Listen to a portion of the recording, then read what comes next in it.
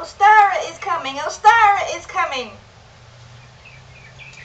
That's not quite as bad as the British are coming, but it's okay. Ostara coming is a really good thing. Don't worry, it's just Kyrja, and I'm the author of Rupert's Tales. And I'd like to invite you to come to, to Phoenix Festivals with us to celebrate Ostara at Phoenix Phyre in Lakeland. We're going to have Rupert's Tales and Tunes performance on uh, Saturday, late morning or early afternoon.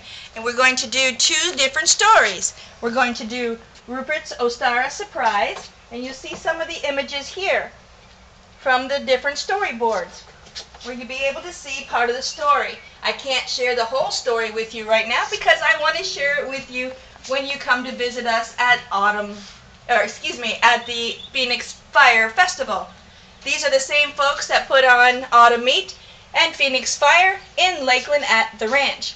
You'll be able to see the performance of Rupert's Tales and Tunes for Rupert's Ostara Surprise from our second book, brand new published book. And don't forget, we also have our new coloring book.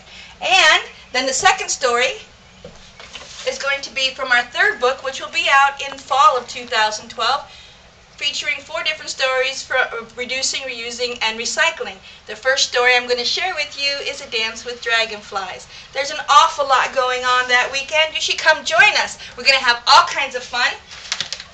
Go to phoenixfestivals.com to find out all about the festival and pre-register now. Again, it's phoenixfestivals.com. We'll be there. I hope to see you there. See you soon.